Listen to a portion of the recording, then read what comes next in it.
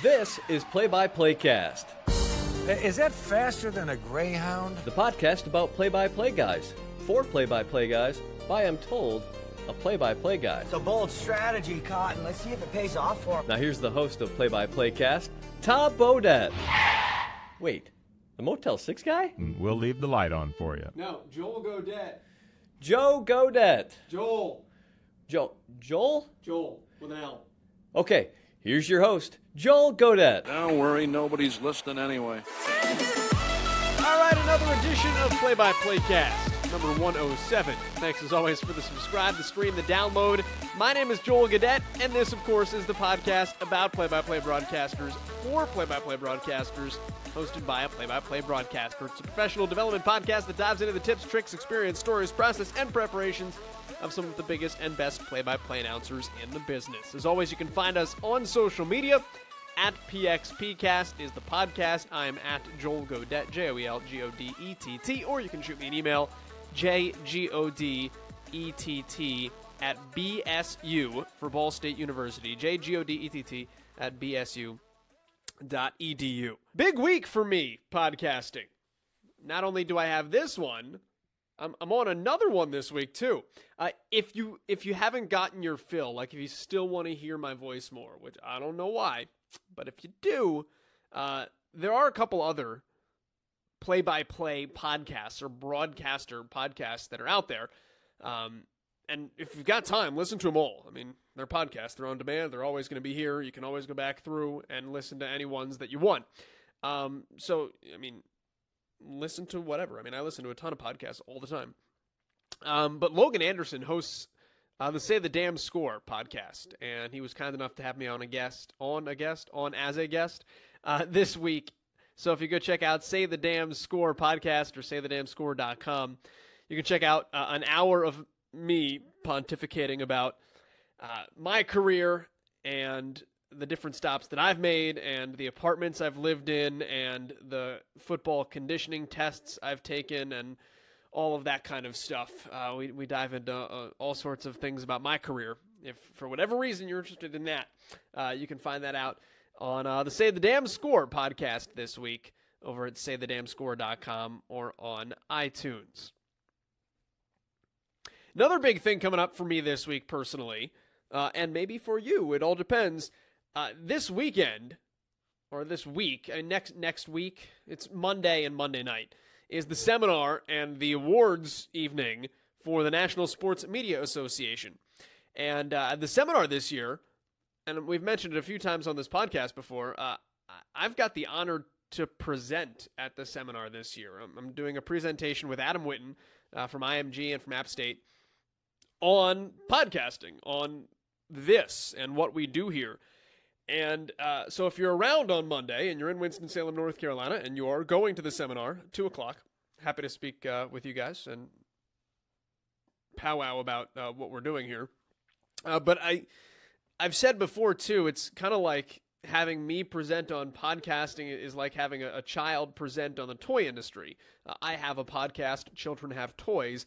Uh, they don't know how Toys R Us runs, nor do I really know the intricacies of um, like the business side and the industry side of podcasting. Uh, but what I enjoyed about setting up this presentation is I really dove into it and learned a lot of the stuff that I didn't know uh, previously about podcasting. And uh, we're going to go over all that stuff uh, on Monday. But it was just wild looking at some of the data and statistics. There are 525 million podcasts on iTunes. That's as of May of this year. 50 billion plus all time downloads, 18 million episodes, 100 different languages, a couple hundred million dollars in advertising uh, a year ago. It's wild what podcasting um, has become.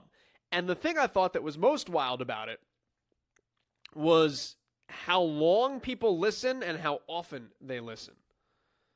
Podcasting is by nature a long form medium. I mean, you're, you're sitting here listening to a podcast that's probably going to be like an hour. The average person that listens to a podcast, once they click play, listens for 48 minutes. Like, you can't get people to watch a viral video for longer than 90 seconds.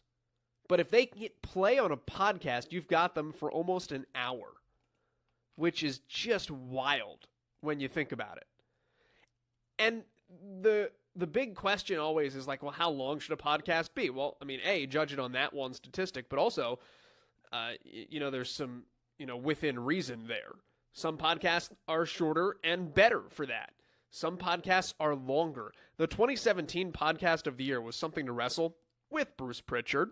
Uh, it's a professional wrestling podcast uh, where Bruce Prichard, who's one of the longtime higher ups in WWE, uh, kind of recounts some kind of behind the stage stories of of the World Wrestling Federation and now World Wrestling Entertainment.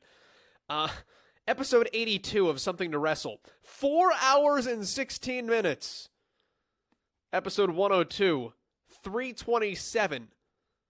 Like, I guess the answer to how long should a podcast be? There is no answer.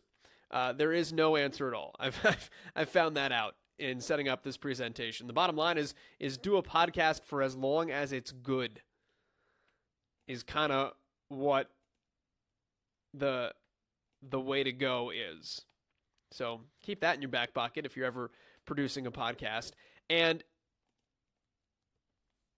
on top of that, when it comes to uh, how you grow audience for a podcast, one of the things you want to do is like catch iTunes attention, which I, I have talked about a couple times uh, in these segments on the podcast.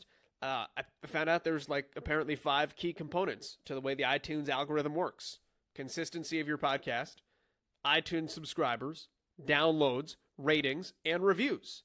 So we have now gotten to the point of this episode where I do the shameless plug. Help this podcast out by growing its audience. Uh, if you get a second and you're listening already on iTunes and you haven't already, um, a subscribe if you're just streaming this episode. Uh, please do. But also, if you have a rating or a review, just throw a couple stars our way and write a sentence about, hey, I think this podcast is horrible and I just I keep listening to it for 107 episodes, but I don't know why.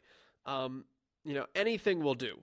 Um, but little things that I, I kind of found out about how you can build an audience, how you can grow a podcast, all that stuff uh, was interesting for this presentation. So that whole thing is coming your way if you're at the National Sports Media Association uh, seminar on Monday afternoon. Looking forward to that. Heading down to uh, Charlotte, North Carolina, get in a car, drive to Winston Salem. Will be uh, will be my weekend into the uh, the beginning of next week. Then I go on vacation, and uh, we'll tape a bunch of pods, drop them as I go. But uh, I'll be gone for three weeks, and then goodness, it's already college football season. Well, then it's CrossFit Games season, and then it's college football season. Summer goes so quickly. It's crazy. Well, as I am currently in my off season, today's guest also currently on his off season, and his name is Mark Boyle. He is the voice on radio of the Indiana Pacers for more than three decades now, and you know, off season is a funny word with Mark because Mark has done in the off season things like walking 500 miles across the state of Indiana, uh, working at a coffee shop as a barista, uh, broadcasting minor league baseball, broadcasting Cape Cod League baseball for free. Uh, just wanted that experience, and we'll talk about it here on the podcast. Uh, Mark is is an interesting guy in that way. He likes to do different things and put himself in some different experiences where he can, you know, meet different people, interact with different people, kind of put yourself in some other people's shoes. Uh, so he's a really interesting guy. And uh, I guess in, in some ways, is kind of the first person that booked himself as a guest on this podcast. You know, I mentioned earlier Logan's podcast, and there's also the voice behind the voice by Sean Aronson. And I've, over the last two years, been pretty particular trying to avoid, as best as I can, doubling up guests that are also on those shows. Now, granted, we all kind of take our own spin on how we do this, and you know, different angles that we we attack interviews with. Um, but I've always tried to, if they've got somebody on, I will shy away from them. Um, sometimes there've been double ups, um, but I usually try um, not to have a guest on that's been on another one of those. So Mark Boyle, when he popped up on the voice behind the voice, I was like, well, damn. Uh, uh, especially because we live in the same city. But he actually tweeted at the podcast last week. I think he was listening to the Bill Mercer episode, and he, he tweeted that he was listening and liked it. And I said, Hey, you want to be on it? And then we met at Starbucks in Carmel, Indiana, and sat down and, and talked for uh, a little bit more than an hour. So uh, excited to have Mark on because he's an interesting guy with an interesting perspective on this business and this craft, and has, you know, he's been with the Pacers for three decades, but before that, saw this business through some different interesting lenses, and we'll dive into that. We'll talk about WFAN. He'll talk about, you know, going out to Montana, uh, and he's also just really good at what he does. Like if you've never heard an Indiana Pacers game, just do yourself a favor, because he's really good, calm, cool, collected, steady. Like when you turn on 1070 The Fan in Indianapolis and the Pacers are playing it's just there's just a flow to it. You always know time and score. You always know where the ball is. And you just feel like Mark is at all times in control. So, you know, one of the things we like to do on this podcast is really kind of break down the, the technical side of play by play, why guys do what they do and how they do it. And Mark Boyle is a perfect guy with which to have that conversation. So uh, that's why I was really excited to sit down with him in Starbucks to tape this episode. So if you hear some background noise like coffee grinders, uh, that is what that is. We are in a Starbucks. Welcome into our table as uh, as we have this little chat. Let's start with why he does this, though. I'm going to go broad scope at the very beginning. Why does he do play by play? What got him into it, and what does he enjoy about it? And then we'll hone in on some of the particulars. Mark Boyle, though, of the Indiana Pacers, is our guest this week on PXPcast. The energy, Joel, is provided by the passion. If you have a passion for something, then the energy comes with it. When I was, I realize now, as I'm older, what I was looking for when I was young, and this sounds really egomaniacal. I didn't realize it at the time. I wanted to find something that I had a passion for and then try to be the best in the world at it. So at first I thought I could be a baseball player. I, I was a good enough player as a kid uh, that I could entertain such delusions. Uh, but then I got to be in high school and I was still good enough to play, but I realized I wasn't good enough to play at levels much higher than that. So I abandoned that and then I thought about being a coach but I realized I didn't have the patience. And then I thought about being an attorney. I wanted to be a defense attorney, which I still think I would have been pretty good at. I don't regret not doing it, but the reason I didn't do it is, is very shallow. I just didn't want to go to school that long. So then I sort of came into broadcasting, not by default, but it wasn't my number one choice. My dad was in broadcasting and I was always, relative to my peer group, really good at speaking and writing.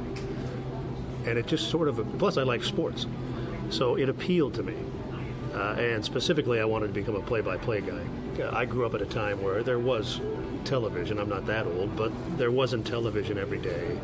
There was no ESPN. There was no multiple games on every day. It went off the air at night. Yeah, more or less. So we saw I, I, grew up in Minneapolis, so we, we would see Twins games, but only about 20. And then there was a game of the week on Saturday. That's how you saw other teams. So radio was the thing. And I, to this day, it's such a vivid memory for me. I, I recall sitting in my room at night, and in Minneapolis, uh, at night, you could reach a lot of stations. You could get Chicago, St. Louis, uh, Detroit sometimes, Milwaukee occasionally. So you could hear all these different guys doing these games. And I became fascinated by men who could make me see something that they could see, even though I wasn't there. And I just thought, boy, that is a really cool thing to do. I wonder if I can do that. So by the time I was about 17 or 18, I decided I wanted to be a play by play broadcaster. And it wasn't until I got much older that I realized See, I thought everybody was doing something they had a passion for and liked going to work every day. And then as I got older and started seeing older people once I went into the workforce, not just those in broadcasting, but parents of girls I dated, older people. I saw that not everybody liked going to work. In fact, in fact, most people didn't like going to work. So I realized now how lucky I was to to find something I had a passion for, and then have having been lucky enough to have a reasonable level of talent to do it. It's fascinating to me because I'm one of those people that whenever somebody finds out you're a broadcaster, they always go, oh, so like you wanted to do this since you were six. Or friends I have that are broadcasters who grew up listening to Harry Kalas and they were five years old and they decided this is what they were going to do for the rest of their life. And I, my answer was, I was like, no, I was a junior in high school when I figured out I was going to do this and that's where I wanted to go. Um, when you look back on it now, is it one of those things where it just kind of makes sense that it fell into the right place for you and you wound up where you were supposed to be? Or, I mean, do you ever have those wonders about what it would have been like to be a defense attorney? Well, I'm not a big believer in destiny, so I don't believe in where you were supposed to be. But I do occasionally wonder about A, what it would have been like to be a defense attorney, and B, would I have been any good at it? Uh, I think the answer to the latter is yes, but that's because I have a healthy or perhaps an unhealthy ego. I've never regretted not doing it because I've loved this from day one. And I tell this when I speak to kids all the time. I don't want to go back to that first job where I was making $500 a month and working ungodly hours, driving into the middle of nowhere, into crappy locations to do high school games with 20 people in attendance. I don't want to go back to those days, but I say this now and I mean it. I enjoyed that job every bit as much as I've enjoyed this job. And I think that's how you know you have a passion for it. It's not the lifestyle, it's not the economic security if you're lucky to get to that it's it's the work, it's the craft. Um, I think maybe an artist would say the same thing. A, a good artist versus a mediocre artist versus a guy who can think back to the time he was just learning how to paint. I, I, see a parallel there, and I, and I think if you can find something you have a passion for, you'll always have a job, but you'll never go to work. Let's talk about the craft then a little bit. Um, and back to one of the first things you said, in that uh, you always wanted to be the best in the world at whatever you were going to do. Uh, how did you attack that, and how did you approach it when you decided this is what you wanted to do when you were 17 or 18? Well, I had a little bit of help. My dad was a, broadcaster, so when I was first starting out, he would critique my tapes.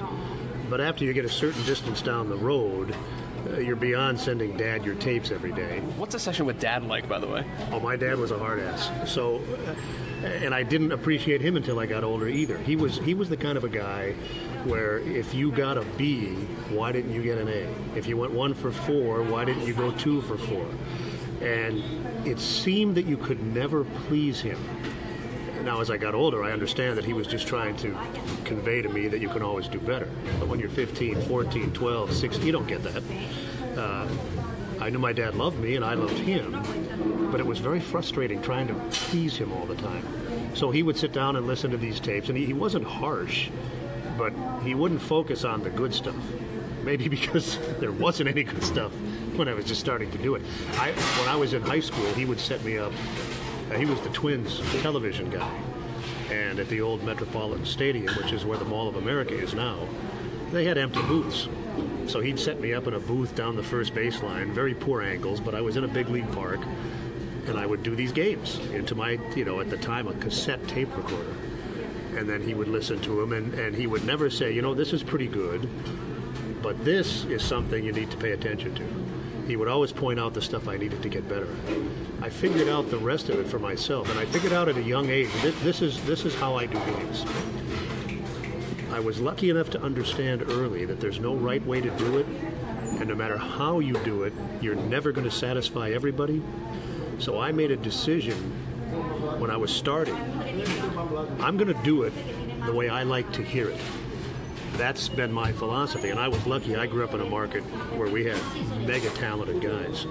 Uh, as a kid, the voice of the Twins was a, a guy named Herb Carneal, who was there for 40 plus years and is in the Baseball Hall of Fame. The guy with the North Stars, the NHL team, was Al Shaver, who I later worked with, and uh, is in the Hockey Hall of Fame. I grew up listening to guys like this, and so it was easy not to copy them, but to see the way they did games helped me formulate the way I like to listen to games, which in turn helped me decide how I wanted to do the games myself. So he was a big help early, you know, listening to my tapes and stuff. And then as I got older, I used different resources. uh, mostly listening to the stuff myself because I knew what I wanted to hear. And earlier in your career, you're hitting it a little bit, but not as consistently as you want to. And then as I got a little bit older, I, w- I was still young, I was in my 20s. Now I'm in Minneapolis. And I worked with a guy named Don Vogel. He was a talk show host, really gifted. Uh, he was a uh, guy who lost his sight when he was a boy. So he had the frame of reference. He'd seen things, but he couldn't see things anymore. I would give him my tips because I thought if I can get a blind guy to see what I'm trying to do here, then I'm on the right path. And he was an invaluable resource. He would point out things that I would never have thought of, but he was giving me his perspective from the point of view of somebody who couldn't see. And so along the way, my dad, a guy like Don, different people I worked with, listening to different guys as I moved around the country in different markets, it all formulated my own approach. And, and those are valuable assets that I think sometimes we don't take advantage of because we don't think they are assets. A, a guy like me who's a professional at this, even now, I sit in my car and listen to games and I hear things, oh, I should be doing that. Or that guy does it differently than me. His way is better. Uh, so I, I don't listen to games as a fan. I listen to them as a professional, looking looking for something. Um, that perfectionism that my dad preached has stayed with me, and I'm always trying to get better. So when I listen to these other guys, everybody has something to offer. Even if it's a guy who's so bad, you think, man, there's no way I can do it that way. But everybody has something to offer in terms of teaching. I'm the same way. When my, my friends sit down and watch basketball with me, they get angry because I'm like, stop cheering. I'm trying to listen, uh, which always goes great in a crowd. Um, tell me more about bouncing stuff off of someone who is blind and what you learned and even what remains with you that you learned from that that would be different from somebody else.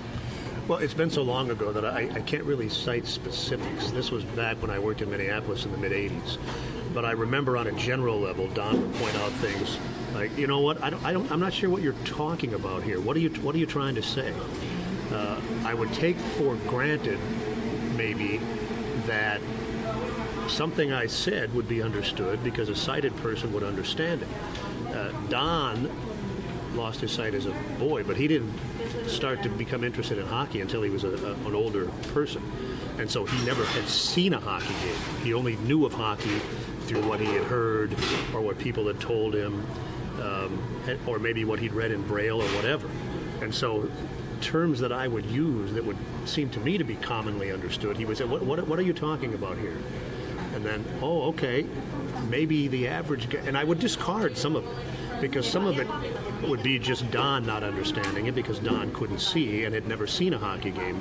And I would say to myself, that's interesting, but I know that 99.9% of the people listening know what that is. I'm not going to deal with that. But he just put ideas in your head that you had to at least consider, and some of them were quite valuable. Are there some things you could even think about now in terms of things sighted people take for granted? I, I even think back, we had Tim Roy on this podcast, I don't know, a couple months ago, and one of the things he talked about was, I think he said, he had used the word baseline, and a blind person didn't know what it was uh, in terms of picturing it. And it's something so rudimentary um, that might fall into that 99% of people know what it is. But what are the types of things that that maybe we take for granted that sitting here you think about maybe it's worth throwing a couple extra words in to describe what this is to give that person that picture?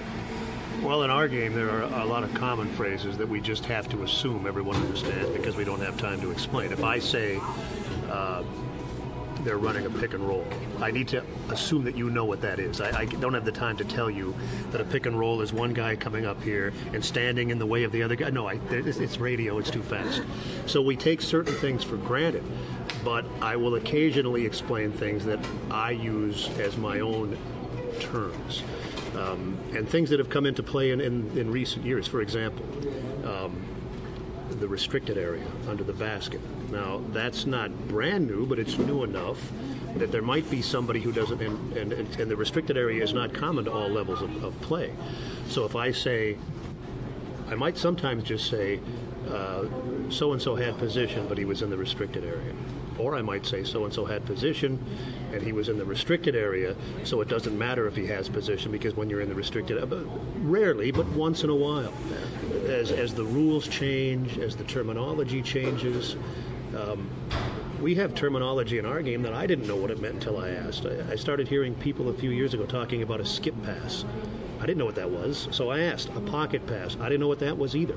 And I'm around the game every day, so I'm assuming that if I don't know what it is, then the fan listening doesn't know what it is either, and so I need to explain it if I use it. Take me back to the beginning too, when you were um, listening, growing up as a, a kid, and, and, all of the voices you had in Minneapolis, uh, and you decided, I'm going to do this the way that that I like to hear it. Um, what did you like to hear? What did you like about the voices that you had, um, the Carneals and the Shavers, and what stood with you that said this is something that I'm going to help mold into myself? Well, in general, it was just that these guys could make me see something that I couldn't literally see because I wasn't there. But specifically, from Herb Carneal, I picked up. He was he was a good broadcaster. Obviously, his credentials speak for themselves. But specifically, what I picked up from him, he was so conversational. He he, he felt it felt like he was talking to me, like it was just he and I sitting at the ballpark, and that that's a very very unusual skill. Not everyone can master it. And so in my mind, I want. This is why I don't use scripts when I when I do my game open. I, I have bullet points because I don't want to sound like I'm reading off a script. I want to sound like you and I are talking. That's something I picked up from Herb, outside of his obvious brilliance. From Al, it was an enthusiasm for the game. It was uh, the descriptive way that he would describe things.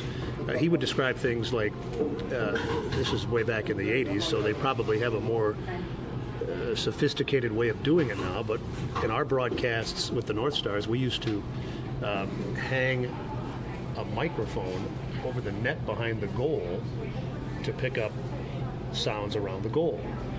Um, so occasionally, if you could hear a, a player yapping, and I would think, boy, I'm sitting in the booth with Al. How do I hear that guy down there? I, am a kid. I don't know. And every once in a while, Al would say, "Ah, our microphone over the goal picks up so and so." Yeah, so little things like that.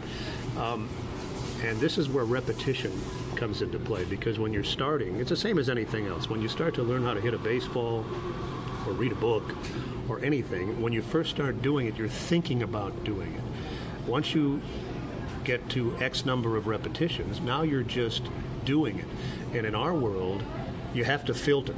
You, you can't possibly describe every single thing. There just isn't enough time. So in your head, you have to be filtering out what's important and what isn't. And when you're first starting, you don't know what that is. And so you end up speaking too rapidly and trying to jam too many comments into a, a, window that they just don't fit. That's where the repetitions come in because I'm at the point in my career now where it just naturally filters through. I know what to say and what not to say. I know what I can omit and what I and what I need. For example, in, a, in an NBA game with a 24 second shot clock, this is common to all levels of broadcasting. The two most important elements are time and score. You can never give them enough. So if I have to miss a pass 40 feet from the basket to mention the time and the score, then I'm doing that. I don't need to describe that pass because it's not as important as time and score. But it's not a conscious thing. I'm not going, okay, time and score now, time and score now. I just know to do it because I've done thousands of games if you've never heard Mark broadcast too, by the way, this is what he sounds like when he does a basketball game. It's it's a very you talked about the conversational aspect well, of it. That's what I picked up from her, and, and to me, it's so important because it's a communication medium, and you want you want to connect with your fans, if for no other reason than it's selfish. If you connect with your fans, you can possibly stay employed a bit longer. So there is that selfish element to it, but there's also if you don't connect with your fans, then you're just pissing into the wind, aren't you? I, I think. And so that conversational element, that's what resonated with me with Herb. And I, am glad to hear you say that because it's something that I try to do. How long did it take you uh, to figure out, and, and what did you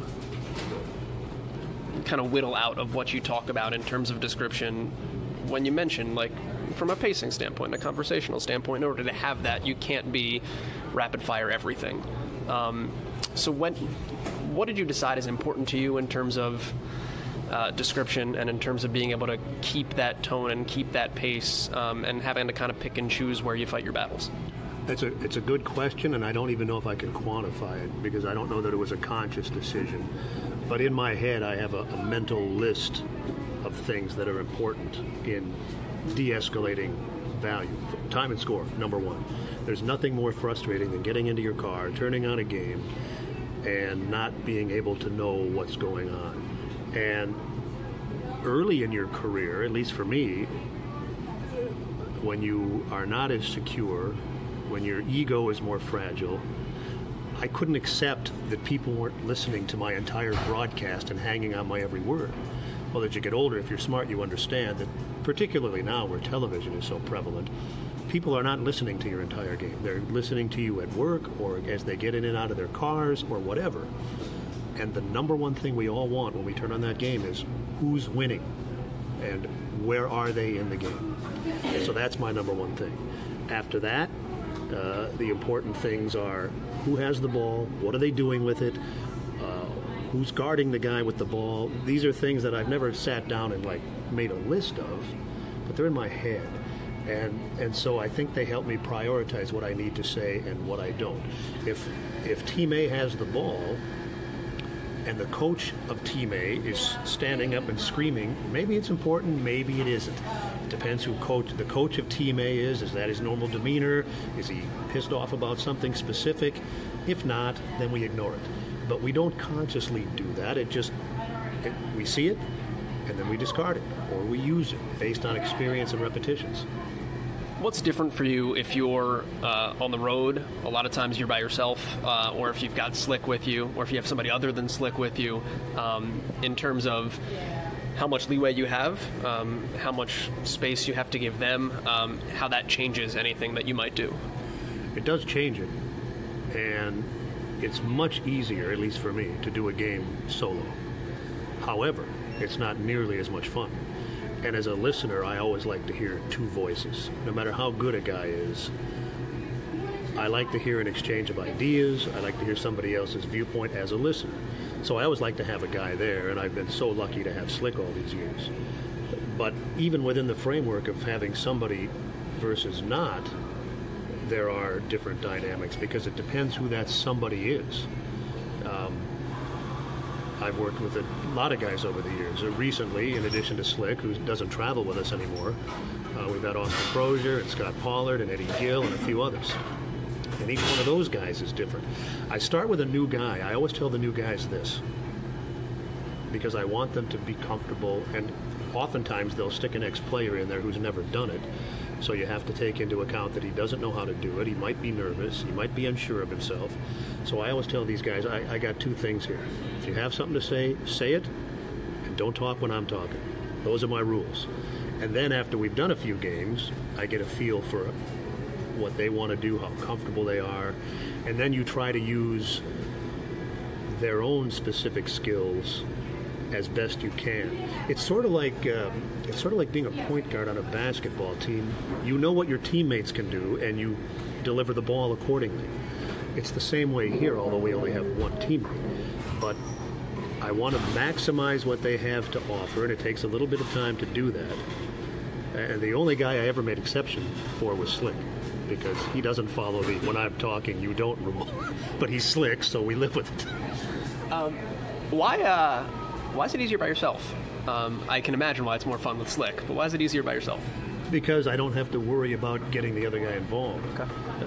And on radio, you don't have to worry anyway. TV is the analyst's game, and, and he's the key guy on the broadcast. Radio, it's different. I, think about this. If you watched a game on television and there was no analyst, wouldn't it be weird and it would be hard to watch and listen to maybe? On radio, that's not the case because play by play is the primary element. On television, there's a bunch of crowd shots, uh, there's time to talk because you don't have to describe every piece of the action. It's an entirely different broadcast, and the analyst is paramount. On radio, a good analyst adds a lot, but you can have a good broadcast without one. So, specific to the guys I talked about and why it's easier to work alone is because it's just me then. And I have opinions and I have information and I can easily share it. There's plenty of time. When I work with these other guys, a lot of the stuff that I would share normally I don't get to because I want to give them latitude to do their thing.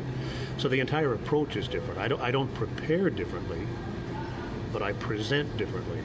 Uh, in a solo broadcast, I'm going to talk about anything I want whenever I want. If I've got a partner, that becomes secondary to how I can get him involved. I- I'm always curious to talk to people that do basketball solo from the basketball side of things as well. Uh, just because I've been in situations where I've done games solo for the last couple of years, um, and my basketball career ended when I was in fifth grade. Uh, I, I was not good. Uh, there was a reason it ended when I was in fifth grade, and my dad was my coach. Uh, and since then, Boy, if your career ended in fifth grade and your dad was your coach, you must have really been awful. Yeah, my mom was not happy. Uh, but uh, you know, as I've gotten older, I've, I've, I've learned obviously more about the game, and I even got to the point last year in the off season where I said to one of our assistants, I was like, "Hey, Grunk, I want to sit with you if you have time," and we sat and broke down film for two hours because I wanted to have a better understanding of how our system worked, so I could talk about it that way. Um, but for me as a broadcaster, I love having the analyst there because I can lean on him for the basketball specific things and catch things that are happening off ball, movement that's happening that I'm not paying attention to, and kind of understanding the the why of of my what that I'm seeing. Um, how do you account for the why uh, in addition to what you're saying when you're just solo? Well, when you're solo, sometimes you don't know the why because we don't have the luxury. If I see something off the ball, it's because I saw it out of the corner of my eye. I'm not. I'm always focused on where the ball is and who has it because that's the primary thing you need to be concerned about. So I don't see a lot of that stuff. Whereas an analyst has the luxury of he can watch whatever he wants. Maybe the last few possessions have been such that there's a trend and he sees it. Oh, I, I see this guy. He's going back door. I'm going to see. I'm going to watch and see how does he get through that back door. What what's wrong with the defender? I, I can't do that because then I lose the ball. So he he can a he knows more than I do, hopefully, and b he can look at things I can't. So and plus, even if he doesn't know more than I do, he has more credibility in that area than I do. If Mark Boyle says. Uh, the defender down on the block is not getting the job done. It's not the same as Scott Pollard saying because Scott Pollard was down on the block and Mark Boyle was not. I might know enough to comment with some degree of knowledge, but I don't know enough to comment with any degree of experience. And so that's what that guy adds. The guy who has played or coached has been in a position that I haven't, and just for that reason, he can add stuff that I can't. And that comes back to not preparation changing, but presentation changing. I would imagine. And and if you're so if you're solo and you can tell, right? Going back a few years, but Roy Hibbert's having trouble on the block, um, and you didn't want to say it that way because you're Mark Boyle and not Scott Pollard or Austin Croshere. Um, what do you say instead, or how do you present that instead? I try to stay away from, from the technical aspect of it because, hey, I'm, I'm not, let's face it, I've, I've been around here for a long time and I've done a lot of games. That doesn't mean I'm qualified to analyze post play, it just doesn't. But I can make general observations. Let's use that same example. Let's say that, well, let's use a real life example. Not that Roy's not real life, but let's use a Miles Turner example. One of Miles' things this year was on a switch, he'd get down on the block there with a shorter guy on him and he'd just pass the ball back out. Now, watching that, I try not to watch the game as a fan because I don't feel you have that luxury, but as somebody who hopes the Pacers do well, and wa- is watching a 6'11 guy not take advantage of a 6'4 guy, it's sort of annoying.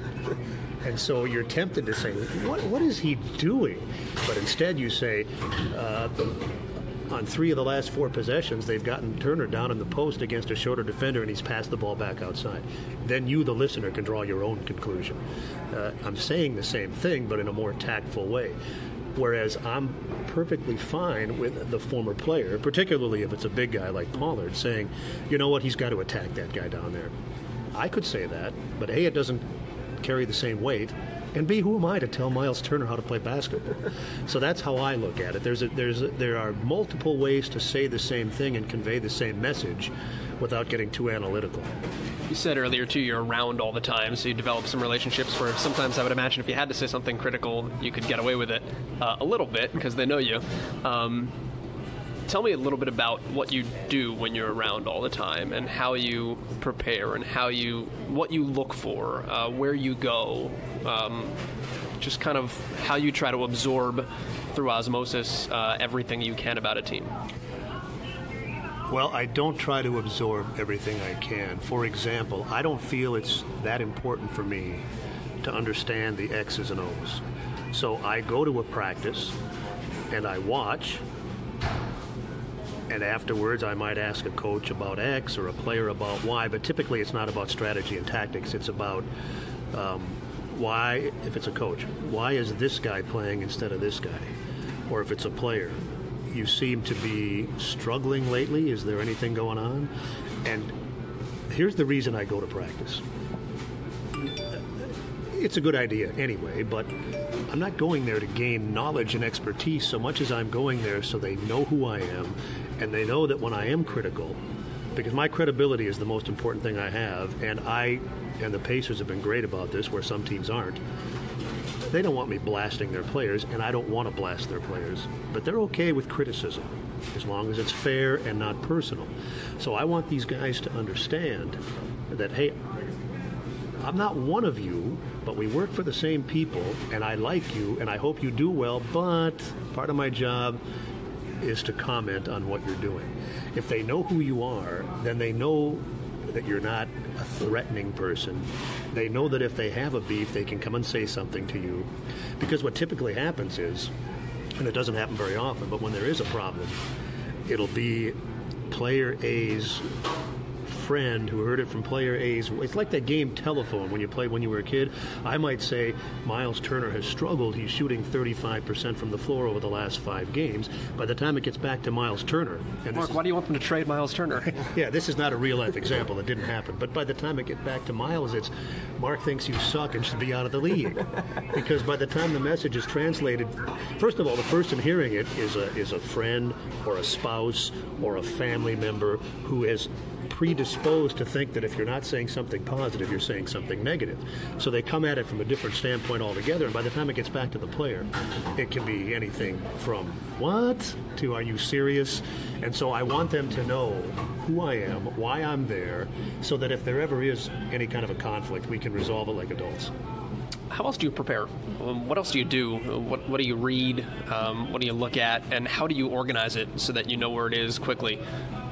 Uh, it's a process, and I, I tinker with it all the time. I I have my stuff that I have right in front of me during the broadcast, and it's been essentially the same for the last several years. But as I was younger, I, I tinkered with it and how, to, how can I best do it? How can I make the information accessible and easy to see? Now I have a system that I use. And the way I do the research is this it's, it's, it's multi-tiered. I do a lot of reading, uh, newspapers, which are I mean, when I started, there was no internet, so forget about seeing the other city's newspapers. No, no chance of that. Um, but that's accessible now, and there's a few websites that I consider go-tos that I check on a daily basis.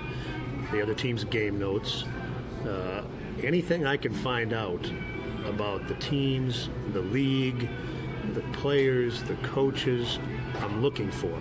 I don't, I don't use all of it. I don't even put all of it down. I, I sift through it based on what I think is important. And then the other part of the preparation is personal. You go to practice, you talk to players and coaches, you go to the game early, you talk to the other broadcasters, the other writers. If you know people with the other team, you talk to them. And one of the advantages of doing that over a period of years and years is that A, you always know somebody with the other team. And B, they know you by now. Even officials will talk to me because they know that what they tell me, I know how to use. Either I can't use it at all, or I can use it judiciously, or I can use it completely. But they know me and they know to trust me to know how to use it. That's part of the process when you start a new job or work with a new team or a new league or a different sport. And players and coaches now are more suspicious and untrusting than they've ever been because it's so easy for them to get burned now compared to how it used to be. So they're more cautious. If I were coming in now, I think it would be harder to build a rapport than it was when I did come in. And, and based on that, maybe this next question isn't uh, as easy of one to talk about because it is different that way. But um, and maybe it's more of a psychology question than anything else. But how do you develop some of that? Because obviously, if you're talking to certain people, uh, they know why you're talking to them, and you know why you're there, and you know everybody understands that. But to create that relationship where uh, it's more than you more than you feel like you're just using them and they feel like they're being used for information and there is some sort of mutual admiration society there Good question, and that's why when we get a new guy, whether it's a rookie or a free agent or a guy who comes in the middle of a season in a trade, after I introduce myself, I don't generally bother them for a while. I want them to see me around, to get a feel for okay, this this is the radio guy. Uh, I will guarantee you that even though they don't all know my name, they all know I'm the radio guy. They might not know my name. Players don't really give a damn about us, and I don't mean that in a negative way. If I were a player, I wouldn't either. So, okay, this is the radio guy.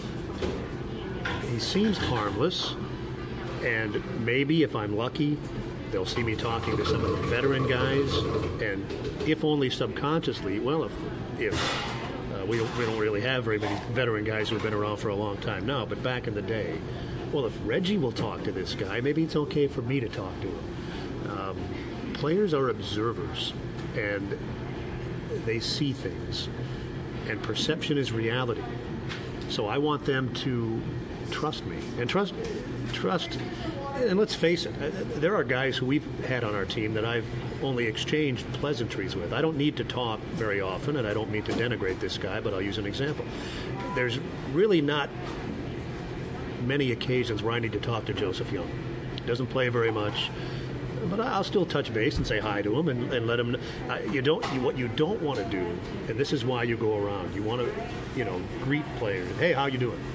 If that's the only conversation you have in a week, it's better than you don't talk to them at all until you need to talk to them in three months. Just, just like any human interaction, it's no.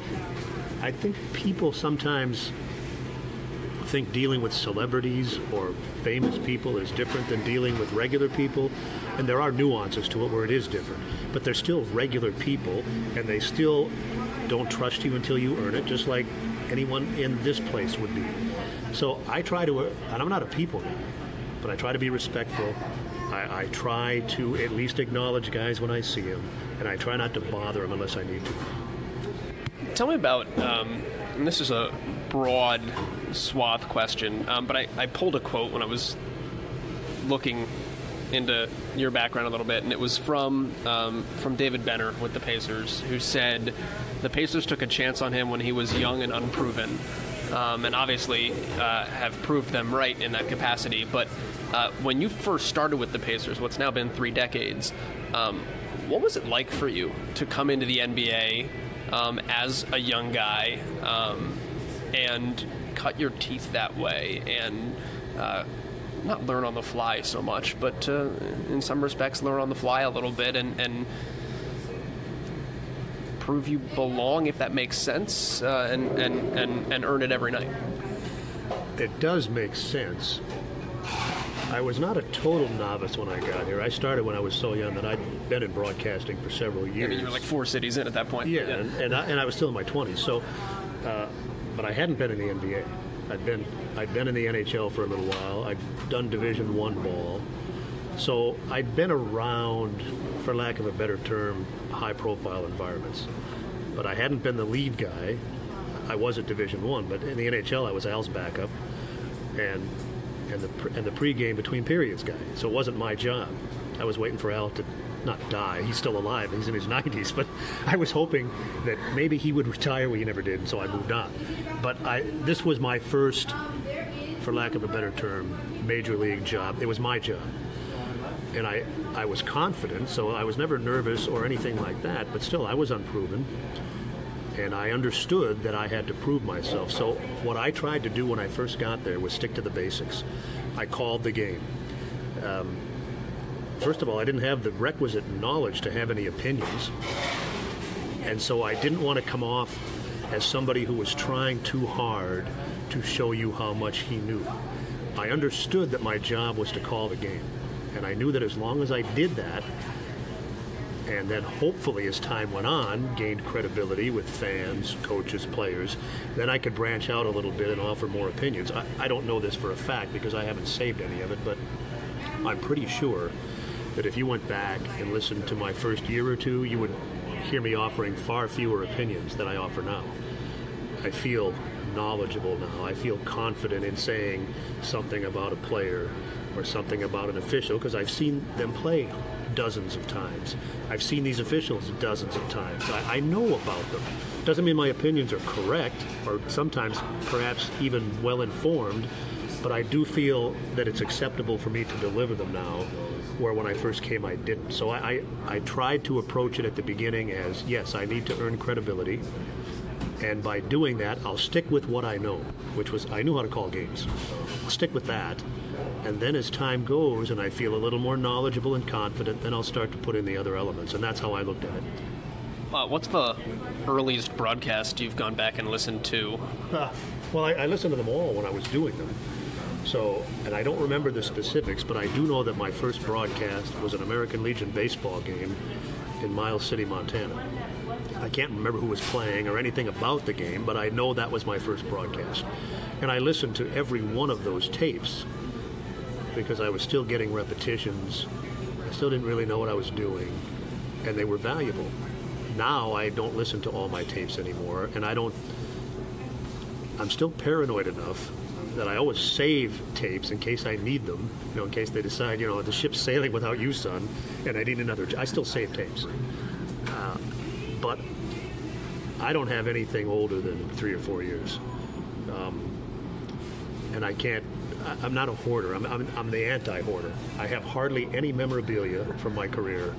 I have no tapes except the ones I need to get jobs. I, I kind of wish I had tapes now because I remember thinking when I was starting how good I was. And you have to have that attitude to succeed, but I, I'm pretty sure that I, when, if I could find those tapes, go go back and listen to them, I'd be just horrified.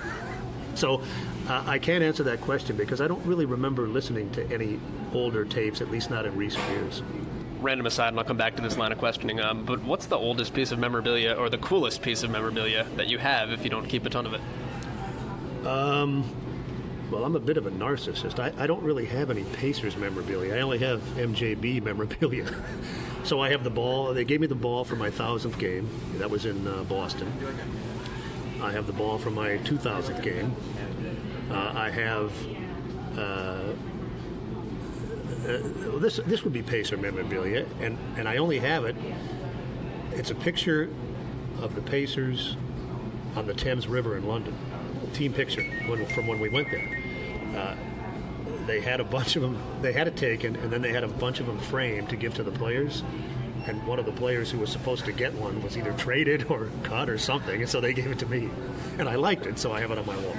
Uh, but otherwise, the stuff that I do have, which isn't much, is, is stuff that's related to my career. I have a poster of of the uh, 30 for 30 that ESPN did on Reggie and the Pacers that Reggie autographed. I was in that documentary, and so it's not about Reggie; it's about me. Most of my stuff is about me. I, I, I'm not big on. I don't have any framed jerseys or anything like that, and I'm not denigrating guys that do. Uh, people save different things. If you talk to Chris Denari, our TV guy, he told me once, and I don't doubt it, that he has every one of his scorecards in a closet. When I'm done, I throw mine away. I just started going through all of mine because I had them in a closet too, and it takes up way too much space. Yeah, well, so guys save different things. But the stuff that I have saved is stuff about my career, and I don't even save that much of it. I save I save the stuff that's meaningful to me because I'm proud of it. But I don't want to be the guy that when you walk into his house, it's a, a shrine to Mark Boyle. That's a that's a even by narcissist standards, that's a little much for me. I didn't know if you were going to say like the cup that they threw at Ron Artest. Ha! Actually, I would have saved that if I had it, but I don't have it. Okay. I don't know how to swing back to where we were, but I'll, I'll just I'll just do it. Um, now I don't remember where we were. Um, this is great. I'll have to edit this. no, no, no, no, no. So you don't have to. It's a conversation. Sometimes conversations have lulls. So uh, just move on to the next thing. Or I, I don't remember what the last thing we were talking about was. Yeah, neither do I. On that note, uh, I know that at the beginning uh, you talked about baseball and your love of baseball, um, and I know that uh, it's something you have broadcast professionally. But do you ever look back or even look forward um, to wanting to do more baseball, or maybe wish that not to denigrate where you are, but like eh, I, if I could do it all over again, maybe Major League Baseball would be something that would be really cool. Uh, wish is too strong. I, I got into it to do baseball. Baseball to me is A, the hardest sport to do, B, the sport best suited for radio, and three, the sport that takes the most versatility. You, the action is a unlike hockey or, or basketball. The action is is minimal. It's it's a small percentage of the broadcast. There's a pitch, and then there's a you know depending on who the pitcher and hitter are, there's a five minute delay, and then there's another pitch. And I love baseball, but it presents challenges that basketball and hockey don't. So I did I did a season of rookie league ball in 05 three years ago, I went out to Cape Cod and did a season in, in, the Cape League, which is a summer league for college players. And I'll probably try to find something to do again. Uh, to say that I wish I had done Major League Baseball would be a bit much because it's not true. Plus, it would be insulting. I mean, I'm in the NBA. I mean, that would be like saying, "Hey, thanks for the gold watch, but where are the platinum diamonds?" so, no, I don't wish that I'd done it. I wanted to do it, and if the opportunity presented itself, I would jump at it. Maybe not on a full-time basis because I don't want to give this up. But if if, uh, if a team called and said, "Hey, uh, we heard you could do some baseball. One of our guys is sick. Can you can you sit in for a series?" I would definitely do that, and I've done it at the AAA level did some games for Buffalo a, a, while back, several years ago. I've sat in with Howard Kellman at the Indians a few times, and I, I love it. The ballpark is just so cool to me. But to say I wish I'd done it or I regret not doing it, that, that wouldn't be true because I've been really fortunate with the opportunities I've had. And the NBA is tremendous. I love it. But yeah, of course, I, I would want to do baseball again if I had the opportunity. Tell me about the Cape thing, um, because it always intrigued me when I found out you were going to YD.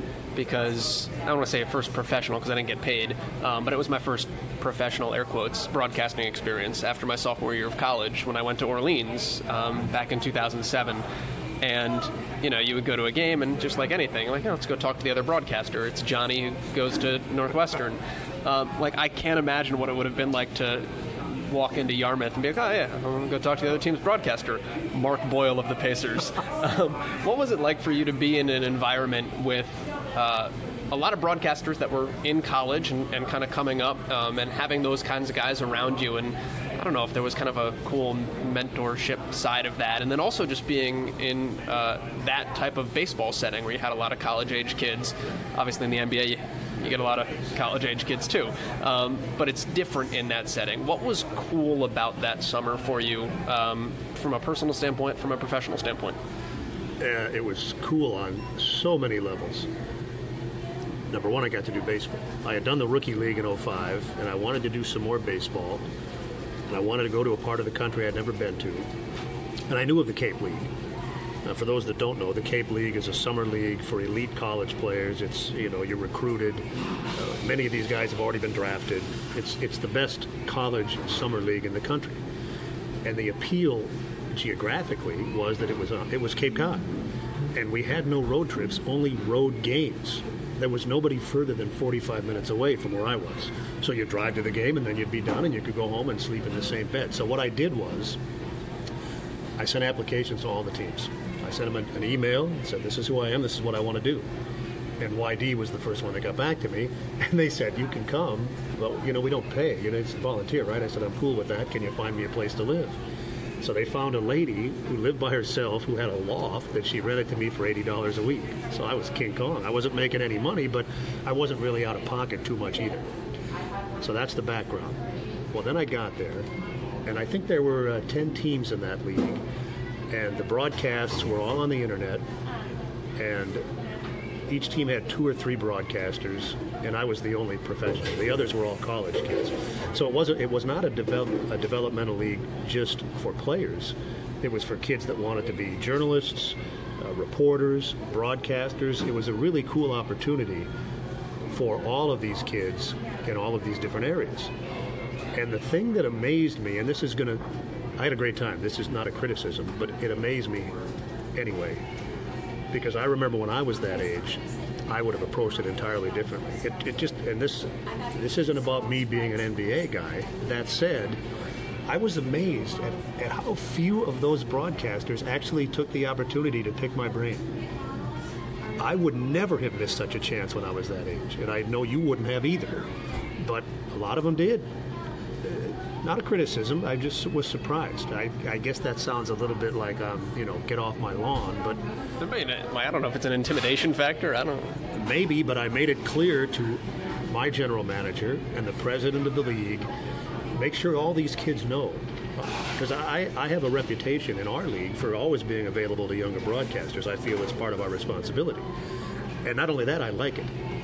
Um, and so, and I'm not saying none of them did. Some of them did, and and some of them are still in touch with me, and I try to offer whatever advice and counsel I can. But the reason it was it was a great summer for me is, and I and here's the other thing, I was the number two guy on the broadcast. The kid I was working with was a, a, young man named Anthony Santinello who was going to Hofstra. He's out now and he's, he's in the business, but uh, he was our lead guy, and I was the number two guy. So I think I did. Uh, maybe I, I think I did the third, fourth, and seventh, and he did the other innings.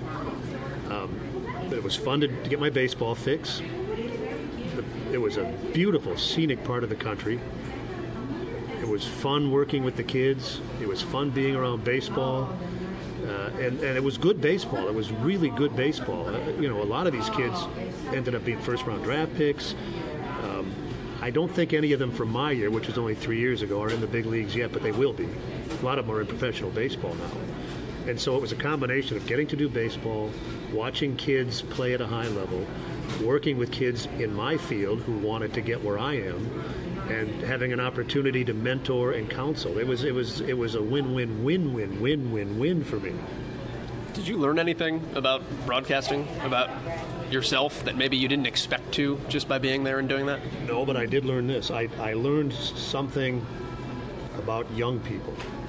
I, I have I have friends, not from the Cape, but just in my I have friends who are in their twenties, thirties, fifties, seventies. And the older you get, if you're not careful, one of the reasons I don't do this consciously, but one of the reasons I have young friends is because I feel that hanging around with people of different generations helps you from getting too myopic, uh, from looking at things only through one set of lenses. And I had been to the point, I'd gotten to the point in my life where I, I talk to high school and college kids all the time. I generally spend most of July and August visiting schools. And the thing, I had become a little disillusioned because you talk to these kids, and a lot of them don't want to pay dues. They don't want to go to Decimal Point, Montana, which I did, or, uh, you know, Hole in the Wall, Idaho. And if you don't have to go there, good for you. But not wanting to go there tells me you don't have a passion for this. And I had become a little bit disillusioned about kids. I do think, on a general level, young people today are more self entitled than we were, more coddled than we were. But I'm sure my parents thought the same about my generation. And I, I think, in general, every generation is more coddled than the previous generation. So, that said, I had become a little bit disillusioned with young people in our field and how hard they were willing to work and what they were willing to do to chase their passion. But that summer on the Cape disabused me of that notion. I saw how hard those kids worked, and I saw how much they wanted to be broadcasters. They gave up their summers. You know, they the Cape the Cape isn't like professional baseball. We generally had a day or two off every week, but it's still not like uh, you, got to you got to be there, and you got to be there pretty much every day. And these kids were willing to give up their summer to do that. And most of them, as far as I could tell, were serious about it and committed to it. And it, it, it gave me a refreshing viewpoint of young people going into broadcasting, which I needed at that point. And you've got to have a job because you've got to pay the rent. Like, you know, I worked summer camps in the mornings, and then I showed up and broadcast a game. So yeah, um, I remember what I wanted to ask you earlier. Uh, so rewind if we may. Um, but we were talking about uh, when I asked you about the the earliest thing you had listened back to, um, and you said you, you have now going back about three years everything. Uh, how often do you currently go back and listen to stuff, and what do you glean from that when you do it? I listen on two levels. I try to listen to something at least once a week, uh, whether it's a quarter or a, a segment or a half. And then I try to go back on a, on a secondary level and wait two to three months and then pick out a game that I don't really remember anything about and go back and listen to it. And I'm listening for something specific there. When I listen once a week, I want to make sure what I'm listening for when I listen to the tapes on a regular basis is I want to make sure I'm not falling into any traps, using the same phrasing too often, uh, getting lazy is what I call it. The other one is I want to listen to a game that I don't remember anything about, except on a real generic level, and then listen to a segment and see can I still see that game. Because if I can't, and it's happened, then I'm thinking, okay, pay attention because that, that wasn't good enough. I I get the basics. You're still doing the basics, but I, I'm not seeing that ball go into the post. You're, you're getting lazy because my whole thing is to get you to see something that you can't see because you're not there. I want you to see what I see. And every once in a while, I'll listen to one of those two or three month old tapes, and I it's not up to speed. It's good enough, I guess, but it's not what I'm after.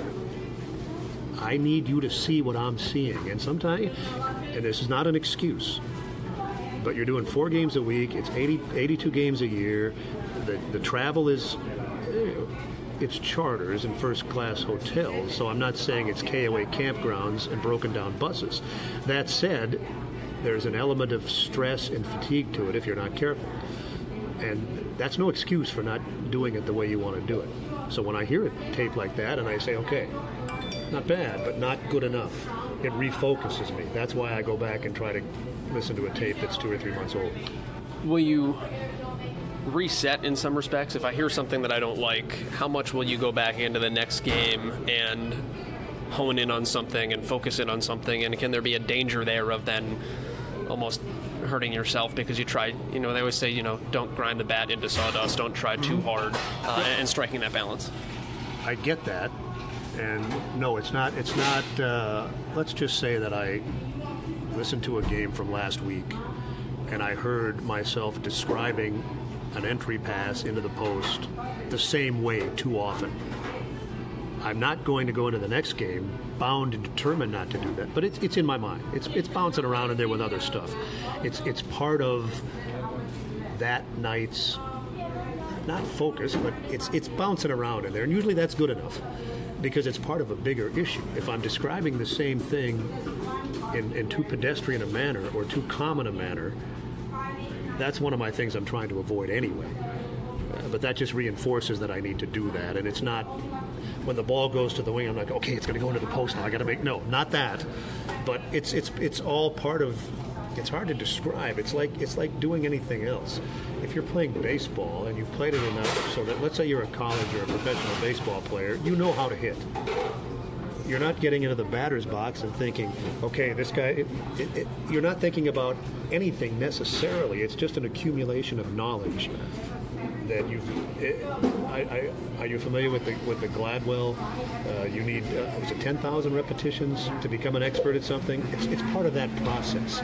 So once you get far enough down the road with those repetitions, you know this, but you're not consciously thinking about it anymore. It's just in there, and that's kind of what this is. I want to ask you about one more thing too um, before we uh, before I let you go, and that is uh, a particular part of your broadcasts uh, when you work with Slick. Uh, and one of my favorite moments, I think, when I've ever listened to the two of you guys was it was at the end of a, I think it was at the end of a quarter. I don't know if it was the end of a half, where there was a full court or a three-quarter court heave, and it went in, and you didn't say anything. You just said, I forget whoever threw it up was like Lance Stephenson throws it up, three-quarter court heave. You hear the buzzer, and there's nothing except crowd noise, and then you just go, "We're waiting," and Slick goes, "Oh, boom, baby." Uh, how did that uh, call on three pointers come to be? Well, it's kind of weird because my first year here, I worked with Clark Kellogg, and then Clark went over to television, and then for the next several years, I worked alone, except in the playoffs. They would always give me a guy. So I had Jerry Sichting, I had Billy Keller, I had George McGinnis, and I had Slick. I knew Slick by then, but I didn't know anything about how he broadcast because he'd been on television, and he's doing the game at the same time I am. So we're in the old Boston Garden and we're paired together for the first time. Well, Boom Baby was already part of his deal, but I didn't know that. So uh, we're playing, and Slick's sitting to my left, and the Pacers are attacking the basket to my right, so I can't see him. I'm watching the action. And Chuck Person puts up a three, and I start to describe it, and it goes through, and I'm starting to describe that, and all of a sudden in my headset there's this, baby!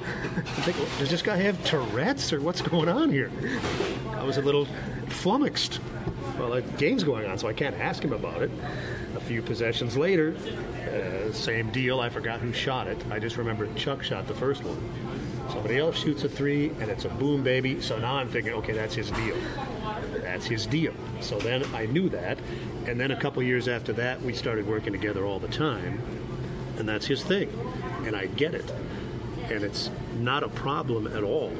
Except every once in a while, he'll go into brain freeze, and not necessarily brain freeze. Maybe he didn't know it was a three.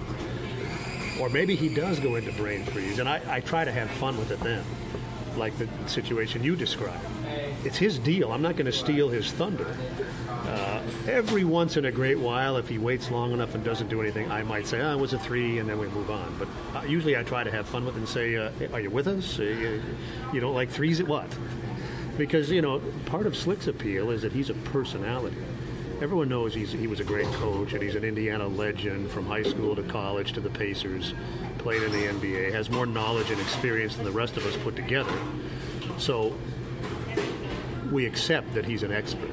But he's not there because he's an expert. He's there because he's an icon and he's a personality and everybody loves him. So let's have some fun with it. Here, here's my here's my real philosophy about the whole thing. I told you before that I wanted to do games as I like to hear them. That's true. But my other philosophy about broadcasting is this.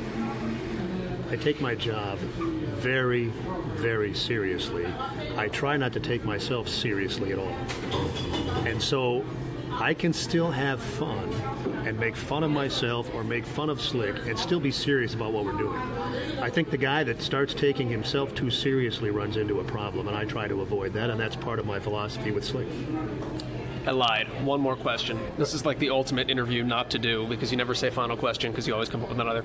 Um, and I wanted to ask you about this, totally separate of this, um, just because of where I grew up. And I mentioned earlier you had been to a bunch of cities between Minneapolis and Indiana. Um, I grew up outside New York. I grew up listening to WFAN. Um, and I know that you were there at uh, really the beginning of it all. Yeah. So, uh, if you can, this is going to be like the broadest swath ever. Uh, but what was it like to be at the birth of sports talk radio? And I, this is totally separate of everything we've talked about, but uh, to be in that point in history and see what was going on was like what? Well, now we have the advantage of history and retrospect, and it, it's cool because I can say I was on the staff of the very first all sports station in the United States. And now there are hundreds or maybe thousands of them. It's become a format that's become very viable and very successful. And we started it. So I'm proud of that. It wasn't just me, obviously, but I was so young then. I, uh, I, I was 26, I think, when I got that job. And I was young, I was single, I was driven. You didn't think of perspective then. You just thought about how can I turn this job into the next one. That was my perspective at the time. I, I knew that I was lucky. I was working with guys like Greg Gumbel and Jim Lampley and, and guys that were far more accomplished and experienced than I was. I tried to learn from them. But the underlying thing there that we had contracts, but they were a year at a time, and we never. I, I left after a year, and at that time it wasn't clear if the format was going to succeed. Now we were lucky that the, the owner Jeff Smulyan, who is the uh, owner of Emmis here in Indianapolis, stuck with it. I'm sure they lost money for a long time. And he could have pulled the plug, but he didn't. He stuck with it, and ultimately it became several years the top billing radio station in America. So it's a successful format and it's been copied. But at the time, all we knew was we were starting something new. Many of us were young, and we looked at it, at least I did, as a stepping stone to something else. I wanted to do play by play, and I'd done it before, but there was no play by play available there. I took that job because I thought New York would look good on my resume. And it did, it helped me. But the actual experience was great for obvious reasons. I learned a lot working with people like that. It was fun living in New York. And there's sort of a, a camaraderie that exists when you're on the Titanic. We thought we were on the Titanic. None of us thought it was going to work, or at least several of us didn't. But we were there for the This would be a experience. great experience. I'll be here until I can get out because I don't want to be here when it sinks. Yeah, right. And, and and and also we didn't know what we were doing because there was no prototype. And at the time, I, I, I will never forget this. They figured it out later, and I'm not saying they were stupid because I didn't know any differently. But we had we had the rights for the New York Mets. That's all we had. And they wanted to get rid of the Mets because they thought play-by-play was a turnoff. Well, ultimately, they figured out that the more we can get, the better it helps us. But at that time, they didn't understand that. They thought talk was the thing. And they didn't really succeed until after I left, and that's not cause and effect, by the way. They didn't really succeed until they went away from the all sports format and brought in Don Imus to do the mornings. Uh, now, the rest of it was still sports, but Imus was a was a, you know a cash cow, and so they started making some money on the morning show, and from there they built it up, and they ended up getting the Knicks and the Rangers. I don't know what they have now, but I'm sure they have several properties. And that was one of the keys. You need as many franchises as you can on your air because people are driven to listen to the games. And hopefully, then they'll stick with you. Um, but I have so many great memories from there. I, I started on the overnight shift, and I worked with a guy named Steve Somers, who's still there. The schmooze. The schmooze. And Steve was uh, he was a really talented guy. He'd come in from the West Coast, and he was the host, and I was the update guy. Uh, for those that don't know, the update guy comes in every 15 minutes and says the Mets won and the Yankees lost. Which how crazy is that that you have to explain that nowadays too? Because they don't really exist that much anymore. No, and uh, and then you'd especially on the overnight shift, which was way more laid back, then you'd schmooze with Steve for a while. And one of my great memories of that was this guy used to call in. He was obviously a staunch fan. He was Jerry from Queens, and he'd call in periodically, and he became a regular. Well, was Jerry Seinfeld before he was Jerry Seinfeld. And then, long after I left, he used to come into the studio and sit in with Steve once in a while when he was famous. The, the overnight callers are so different. I've done the talk show during the drives, and the overnight callers are just so different. Actually, better, I think, more interesting. Uh, but we were we were trying to figure out where to go, and that, that was the other thing. These updates, which barely exist anymore, they were adamant about four an hour, 15, 30, 45 in the top, and, and that was, well, it was before the internet and, and before info was as readily available as it is now. So there was a certain logic to it but but it was an interruption in the show. You know, you'd be trying to. You, by the by the time you got back on and started taking calls, it was time to go to another update. So it was it was sort of it was sort of a detriment in terms of establishing a flow to the program, and they eventually figured that out. But that's how I got in. The guy who hired me in Minneapolis took over in New York, and he brought me with him, and that's how I ended up in New York, and it was a great experience. Was Jerry from Queens a good caller, or was he like, Yes. oh, this guy's calling in again? No, Jerry from Queens was a knowledgeable caller, and he obviously had a sense of humor. No, he was he was one of our regular overnight What's callers. up with these first basemen? They can't hit the ball. He didn't call every day. I, I can't remember how frequently he called, but he did call. And we didn't, at least I didn't know who he was. This was 80, let's see, I was there the summer of 87. I was there from like July of 87 to July of 88. So I don't, Seinfeld started in the early 90s, right? I'm sure he was known on the local stand up circuit by then, but we didn't know who he was, or at least I didn't. Pretty soon he's Jerry Seinfeld. Uh, I was hopeful that, you know, Costanza would start calling in, or maybe Kramer, but they never did. Well, it's because Costanza was busy working for the Yankees. He couldn't call in, and, Yes. and yeah, that would, Not on a Mets station, no. conflict of yeah. Um, Mark, if people wanted to, uh, if young broadcasters wanted to contact you, how do they find you on social media or catch the Pacers or, or whatnot? I'm on uh, Twitter at Mark underscore J underscore Boyle. You can always reach me there. Um, I'm on Facebook. I'm on Instagram. You can find me. And I always promise young guys this: if you if you reach out, I will get back to you. If you ask me to listen to your tapes, I will. Might not be timely. I might not get to it for months, but I'll do it. Um, I, I'm a big believer in. I'll give you a specific story. I, I like to think I would help young guys anyway, because I, I value. I consider this, and this is a little extreme, and it's it's not medicine or the law, but I consider this to be a noble profession, and I consider part of my responsibility to make sure the next generation understands that and carries on, and that's why I help young guys. So I like to think I would do it anyway. Oh, and let's not be politically incorrect. Young gals also. Um, but this happened to me when I was a rookie in the NBA. Marv Albert, who everybody knows, and Bob Ryan, who I think most know, a columnist from the Boston Globe. He's been on ESPN. He's a revered figure. Those two guys, who were already well established, they both came up to me when I was a rookie. They came up to me, not me to them, and said, "Hey, let us know if we can do anything to help you." I thought, if guys like that can do that, then why can't I? Uh, and so I'm always, always open to helping young people. I, I think it's important. I, I want our profession to continue to be respected, and the best way to do that is to make sure that young people coming into our world have whatever advice and counsel I can give them.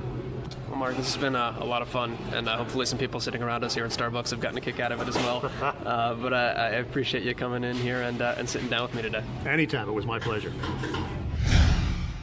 I can only imagine, like, I can only imagine what Jerry from Queens might want to talk about. Eh, I mean, Queens, he's probably a Mets fan, but, like, Jerry from Queens maybe has some thoughts on the Yankees front office. I don't know. I don't know. You know what they eat? What they eat at the Yankees front office. Calzone, huh? Yeah, let's see it. Pass that on down. Let's get a little look at that. Big Stein wants a little taste. Come on, come on. Pass it down there. That's a good boy. Okay, let's do. Hey, what's in this thing?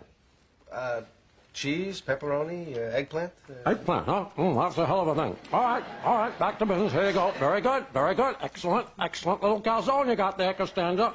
Never gets old. That's incredible, by the way. Jerry from Queens. Bonkers. Many thanks to Mark Boyle for uh, joining us here on this episode. Awesome to sit down and pick his brain, and uh, hopefully you guys got out of that uh, what I did as well. Many thanks to Mark for uh, for sitting down and kind of diving into all of that. I mean, I'll reiterate what I said at the very beginning, and, we talked about his his pacing and the control, the grasp he has on a broadcast. When you turn on 1070 The Fan and you're driving through Indianapolis or Indiana, anywhere on the network, like he is just in command of what he's doing. You know what's happening, you know where the ball is. He's so level headed and level and, and even handed in the way that he just tells you what's happening. Um, and he gets excited. You know, ding dong, the witch is dead. You know, I mean, he gets excited. You look it up on YouTube. Um, but, but he's just, he's an easy listen. Like the, I think the greatest compliment you can get in this industry is that you're an easy listen, and Mark Boyle is an easy listen. So uh, good to pick his brain here uh, this week on the pod. Anyway, uh, it's Friday, Sunday. I've got a plane to North Carolina. Hopefully, you guys do too. Would love to see you at the National Sports Media Association seminar for a little podcast chat on Monday. Uh, until then, or if not, until next Friday, this is Play by Play Cast. My name is Joel Godett, and we are out. See ya.